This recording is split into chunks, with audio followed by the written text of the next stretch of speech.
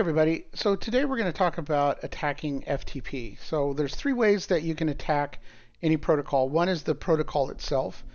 Uh, the second way is to attack the protocol's application. And then the third one is to attack the application's configuration. Right, so the protocol, application, and configuration. So we're going to delve into each of those uh, and discuss a little bit about them so that you have a better understand how to attack FTP. So we can see on Hattricks that uh, they have a, a, bunch of information on how to attack uh, FTP. But I want to scroll down and get to the meat of it, which is there are a few different ways to attack the uh, login, which I consider the configuration, right? Use poor username and passwords, weak username and passwords is misconfiguration. Right, and so they've identified two attack vectors. One is anonymous login, and the second one is brute force. We're going to do both just to show you what it looks like, but I would always try an anonymous login against FTP because that's usually turned on by default in a lot of circumstances. So uh, you'll find it more often than not that anonymous access is allowed. But again, we'll cover both of them. So we can see here on my screen that uh, I've already done a scan against the target. We're using the Metasploitable 2 as our target system. Uh, and we can see that port 21 is open FTP and it has a version of uh, 2.3.4 for the VSFTPD application. That's going to be important to remember later when we attack the application itself. Uh, but the scan, uh, Nmap scan, we did run the common scans uh, the common scripts against it, and we identified that it does allow anonymous login. Uh, again, so we'll try that, but we'll also try a brute force attack and see if we can gain any additional information. Okay, so first we'll try an FTP login, and uh, we'll just use anonymous. And then I'll also use anonymous for the password as well. And we can see that we were able to log in, so Nmap was correct. Let me do an ls-a and see what kind of information we have, which is nothing. Now, a lot of times what will happen with anonymous logins is the administrators will basically sequester any files that are uploaded almost immediately so that uh, if anybody else logs in, they won't be able to see them. So it's possible that this anonymous login is used for transferring data, but we don't see anything. So we're kind of at a dead end here, and this is not a finding simply by using anonymous access to FTP uh, is not considered a finding from a penetration testing perspective unless there's sensitive information that we were able to gather while we logged in anonymously. So let's go ahead and back out of here and we'll perform a brute force attack against this system. Okay, so to perform the brute force attack, I'm going to use Hydra. Uh, now I'm using MSF admin as the username. This is kind of a cheat because I know from the Metasploitable 2 server they tell you that the login is MSF admin, right? So it is a cheat, but what you should do is when you're doing uh, enumeration uh, against a target, hopefully you've identified potential usernames you can use to do a brute force attack. Um, again, this is a, a shortcut because I already knew what it was and it is an abnormal one but I'm going to go ahead and use it anyway.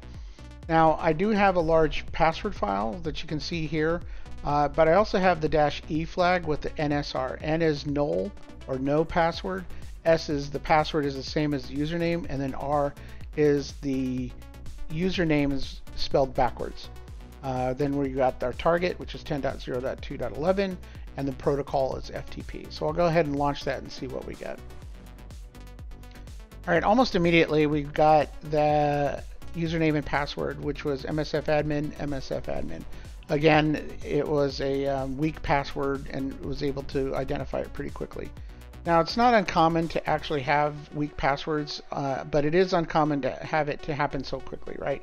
So uh, normally what you would do when you're doing a brute force attack is perform a brute force attack against common usernames or default usernames during the enumeration stage. Uh, and then later on, if you're kind of stuck and you need some additional attack vectors and, and, pray that you can get something else, doing a brute force attack against uh, the FTP server using a large database is a method that you can use later on in a penetration test. So let's go ahead and log in and see what we can get out of this MSF admin username and password. Okay, so I'm going to use uh, FTP again to log in to the remote system, and I'm going to use MSF admin as username and MSF admin as the password. And then I'll do a list of the files, and we can see that there's a lot more information here uh, .ssh would be something we'd look at. Obviously, sudo as admin successful, something. So this would be when we exfiltrate data against that target system. So uh, this would definitely be a finding. Weak username and password gained us access to sensitive information. Okay, so now that we understand how to perform an attack against uh, misconfiguration or weak configuration on the FTP application, Let's go ahead and move to an attack against the application itself. Okay, so I brought up our scan data against the target system, and we can see that it's VSFTPD 2.3.4 like we mentioned before. So I'm going to run searchsploit against VSFTP and see if there's any sort of exploit we can use against the target. All right, and we can see that there is, there's actually two. Um, one is actually in Metasploit. So VSFTPD 2.3.4 backdoor command execution on Metasploit. So we're going to launch uh, the Metasploit framework and see if we can compromise the system using the exploit in Metasploit. All right, so we're in the Metasploit framework, uh, and I did a search for VSFTPD, and we can see that there's two potential attack vectors. Both of them really, uh, one for VSFTPD 2.3.2 and one for 2.3.4. Uh, the 2.3.4 has been ranked as excellent, so we're going to go ahead and use that one. So let me select that one, use one, and then uh, let's take a look at the options so we can see what we need to deal with. All right, so our host, we obviously need to fill that in, so let's set that. Our host to, so let's set our host to 10.0.2.11.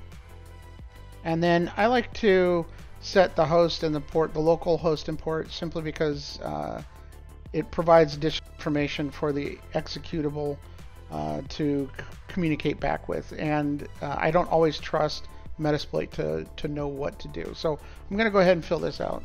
So set chost to 10.0.2.13, which is my local host. And then I'm going to set the our port or the the local host port to let's just do 6666 all right so we'll do that and then we'll run. Now before I run it I want to tell you that sometimes and this happens a lot in Metasploit is that when you run an exploit exploit against a target it doesn't always work eh, on the first go. So if you fail the first time just rerun it and see what happens. And it's possible that we're going to encounter that same same problem here. So let me go ahead and run this and then uh, see what we get. So it's trying its attack and it looks like it's probably going to fail.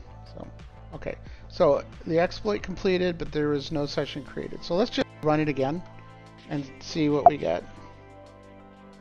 All right, so we get a different response already, and it's going after root. It did find a shell, and Let's see. Yep, okay, we've got a command shell, session one open. So I'm going to just do the typical enumeration. So who am I? And we can see that I'm root. So uname dash A. And it says Linux Metasploitable 2.6.24. Uh, all right, so we have exploited the system through exploitation of the application. So we've gained information both from the uh, application exploit and through the misconfiguration of the FTP because of weak usernames and passwords. Okay, so we were able to exploit the FTP server in a couple different ways in this video. Uh, and in reality, there's the, all three ways would work. So uh, I would refer you back to the Ettercap and Wireshark video to understand how to exploit a clear text protocol like FTP uh, by performing a layer 2 attack in the network.